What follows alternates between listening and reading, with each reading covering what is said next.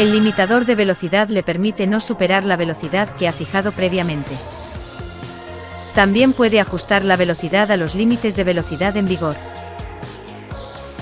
Cuando circule a más de 30 km por hora, pulse este interruptor para activar el limitador de velocidad.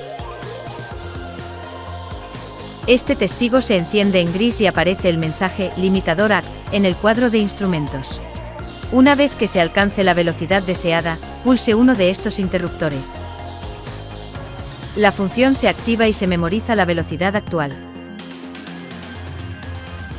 Para modificar la velocidad de limitación, pulse este botón para reducir el valor o este para aumentarlo. Cuando alcance la velocidad límite, ya no podrá aumentar la velocidad. Entonces notará una resistencia al presionar el acelerador. Obviamente es posible recuperar temporalmente y en cualquier momento el control de la aceleración de su vehículo, por ejemplo, para un adelantamiento, basta con presionar a fondo el pedal del acelerador, más allá del punto duro. Como puede observar en el cuadro de instrumentos, el límite de velocidad parpadea en rojo durante el tiempo de superación. Para volver al límite de velocidad, suelte el acelerador.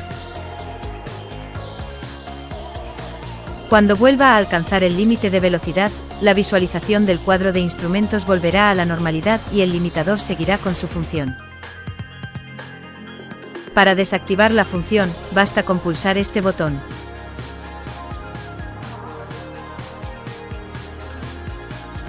El límite de velocidad queda memorizado y visualizado en el cuadro de instrumentos. Para reactivar dicha velocidad, basta con presionar este botón.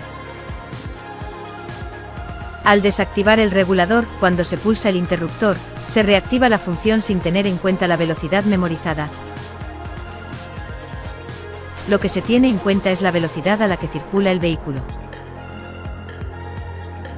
Para desactivar completamente la función, presione este interruptor. El testigo se apaga en el cuadro de instrumentos y entonces la velocidad memorizada se suprime. Tenga en cuenta que en caso de pendiente pronunciada, el limitador de velocidad puede no estar disponible temporalmente.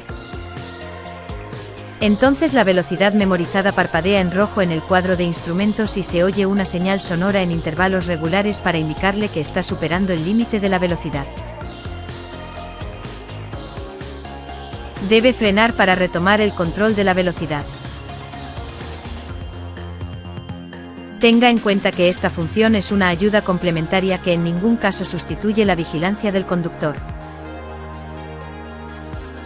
Debe vigilar en todo momento las condiciones de circulación y el entorno.